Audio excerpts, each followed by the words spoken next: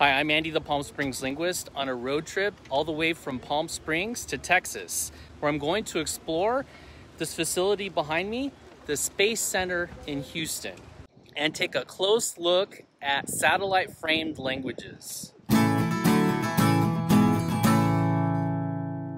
Space Center Houston is a museum which serves as the official visitor center of NASA Johnson Space Center in Houston, where astronauts train and ground crew conduct flight control. In the famously paraphrased quote during the Apollo 13 spaceflight in 1970, Houston, we have a problem.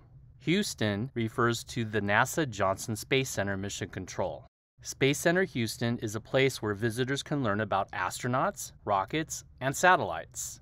In space travel, a satellite can refer to a machine whose path orbits a planet. In linguistics, when discussing verb phrases, a satellite refers to a word that indicates the path of the verb. Every language is capable of expressing any thought. Different languages may express the same thought more or less efficiently, but ultimately, every language does have the capability of communicating any thought. However, different languages may word the same thought in different ways. A word for word translation may not always be possible, but the thought can definitely be expressed in every language. Now, you're probably thinking, wait, what about language populations that haven't been exposed to a certain concept, therefore may not have the vocabulary necessary to discuss that concept? For example, what about a small isolated language community that lives deep in the jungle, isolated in the mountains, or alone on a remote island? Would they have the vocabulary needed to discuss a recent technological advancement? While there may very well be languages that do not currently have the specific vocabulary to discuss a specific concept, all languages can and will adapt to meet the need. Language is different than mathematics. Math is a closed system, meaning that every concept in math already exists. While a mathematician can discover something in math that nobody has ever discovered before, the newly discovered concept already existed. It just wasn't discovered yet. That differs from language. Language is an open system, meaning that language changes and evolves to meet the needs of its speakers. If there is a new concept in the world and the existing linguistic resources, especially vocabulary, in a language are not adequate to discuss the new concept, the language will adjust. For example, if a new word is needed, a language will borrow a word from another language and make it its own. Or it will take existing resources within its own language to create the new word. It is often said that Inuits have a language with 50 different words for snow, making several different distinctions for types of snow. Regardless of whether that is true, that does not mean that English or any other language is not capable of making all these distinctions. The difference is that a given language may need to use multiple words to express a single concept, while another language may have a single word to express the very same concept. So while any given thought can be expressed in any language, the way the language expresses it may be different. Satellite framing and verb framing are two different ways languages can express the same idea differently. She ascended the stairs limping is a perfectly grammatical sentence, but would you ever actually say it? Not likely, because that is a verb framed sentence. And English prefers satellite framing. She limped up the stairs is a satellite framed sentence and sounds much more natural in English, but not in several other languages. There is a difference between a verb and a verb phrase. A verb is a type of word that denotes an action or state. A verb phrase is a phrase headed by a verb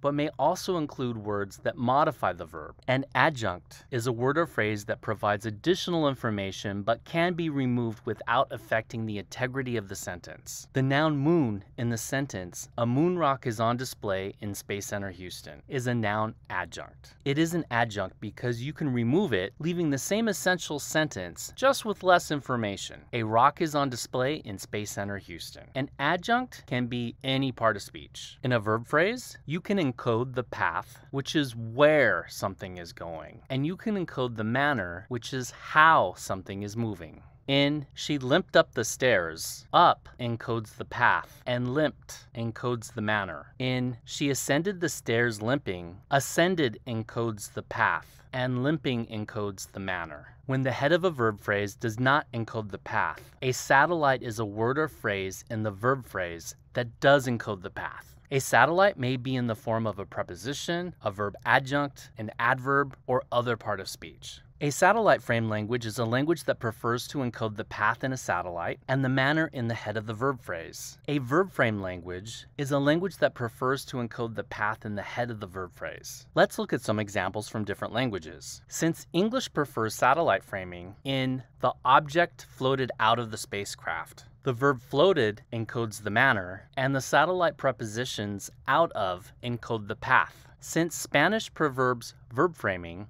in the Spanish translation, el objetivo salió flotando de la nave espacial. Literally, the object exited floating from the spacecraft. The verb that is the head of the verb phrase, salió, or exited, encodes the path. The adjunct verb participle, flotando, or floating, encodes the manner. Like Spanish, French also prefers verb framing. So let's look at how translations of these sentences into French differ from English. Elle a marché dans le centre spatial means she walked in the space center. It does not mean she walked into the space center. The preposition dans indicates the location, not the path. Since there is no indication of path, a verb can be used to indicate the manner. In order to say she walked into the space center, since French is a verb framed language, the path is indicated by the verb itself, not a satellite like English. So the French is Elle est entrée dans le centre spatial.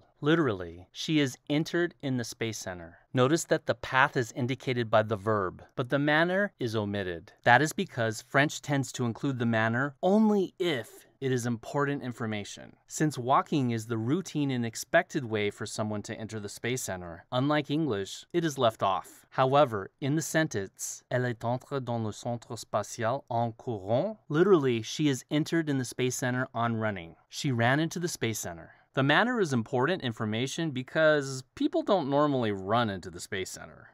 They walk.